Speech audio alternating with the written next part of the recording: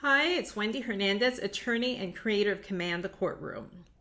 As you go through your family law case, do not forget to tap into your inner creativity. I believe that all of us are artists, whether you're an artist who actually draws pictures or not, or you're an artist who's a mechanic that works on cars, or you're an artist who likes to help your child color, or you're an artist who likes to cook in the kitchen. We're all artists we're born that way. And because we're artists, we have this creativity, but we can choose to tap into it or not. And there are a lot of chances, opportunities in your family law case to tap into creativity. In one of my other videos, I talked about tapping into your creativity to come up with a plan that's best for your child. But today I want to talk about tapping into creativity when you experience these obstacles in your case. And this is the example I want to give. And I've talked about in a couple of other my videos about a recent case um, where my client's um, child was missing for a period of three weeks. And we went through all kinds of, um, we jumped through all kinds of hoops to try to get the child and get the judge to order the mom to remand the child to my client's custody. There were a lot of setbacks along the way. My client thankfully didn't give up, and he didn't give up on me, and I didn't give up either. Um, but one of the obstacles that we encountered was after the judge had finally signed the order that we wanted, and it took a while to get this order, um, we needed to get certified copies before law enforcement would actually execute the order, meaning we needed to get a copy from the court, the clerk of the court, that said the copy was a true and correct copy of the original that the judge had signed. So um, there was some sort of misunderstanding or miscommunication, and the judge's clerk did not get us the certified copies as we had expected. And so, what ended up happening is she sent these copies down to get filed and docketed in the main system. And the orders got lost in the massive orders that are coming into that main office and they couldn't be found. And this was an order that needed to be acted upon immediately because we had private investigators involved.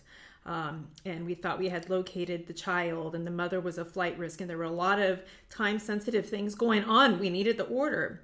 We had our runner go down to the court and beg the clerk of the court to ha- allow him to look with her through piles of orders, trying to find the order we needed. And it felt like we kept running into brick walls everywhere. And I'm so fortunate because I have a brilliant paralegal. And she came up with the idea that maybe we should ask the judge to sign a duplicate order. Um, since the one order couldn't be located, let's ask the judge on an emergency basis to basically just sign an original of the thing that she had signed the day before. And this kind of seems like common sense. It never occurred to me.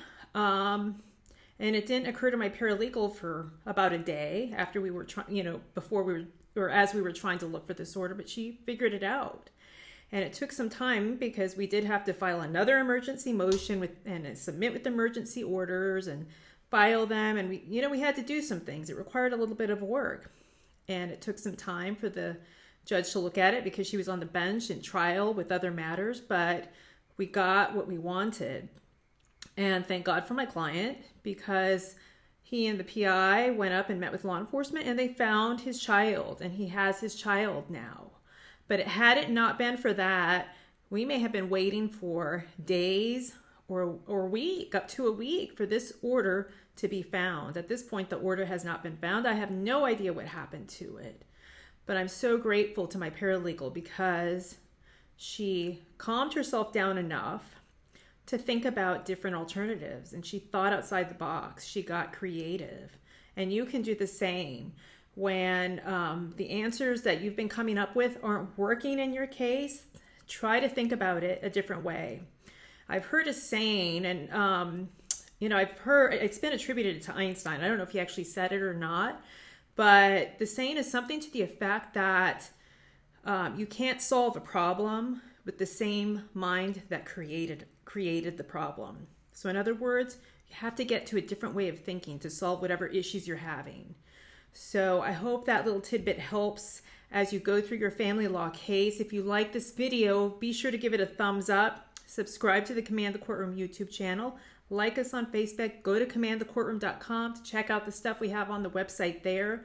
Keep on trucking, and until next week, remember to command the courtroom.